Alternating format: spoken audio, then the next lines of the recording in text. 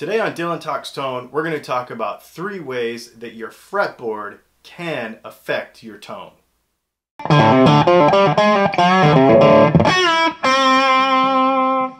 With many of the guitar manufacturers changing up what they're using for fretboard materials, this is a question that's been coming up a lot on the internet.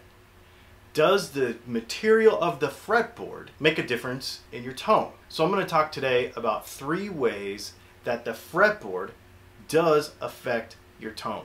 What we mean by affect your tone is anything that affects how our hands interact with the guitar is definitely going to affect our tone. If we are uncomfortable, if the if the guitar doesn't fit in our hands, if it sticks, if our hand sticks to the back of the neck, anything like this, anything that affects how we interact with the guitar is definitely going to affect our tone. So, the first thing, the fretboard radius.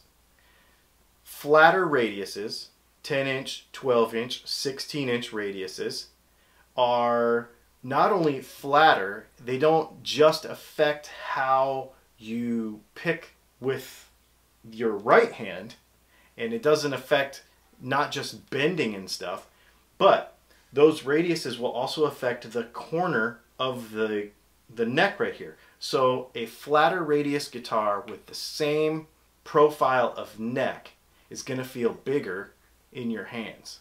So that's number one. The radius of the fretboard is not just the face of it. It actually affects how it fits in your hand. The second thing is the fret size. A lot of people don't realize that if you have a bigger fret, it makes the overall size of the neck bigger in your hand.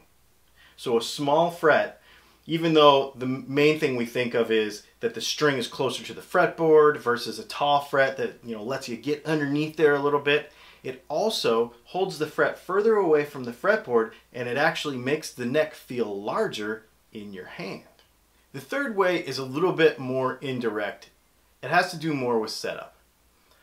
A lot of the guitars that we see come into the shop on a daily basis are just are not set up very well people don't take the time to set the neck relief properly, use that as a baseline for the rest of their setup, and then go on and set the guitar up to their preferences. You can go to some of our other videos on Dylan Talks Tone YouTube channel and check out how to set your neck relief properly. A lot of people don't do this, and as a result, that being the foundation of the rest of the guitar setup, it really affects how the guitar feels and how you interact with it as a player.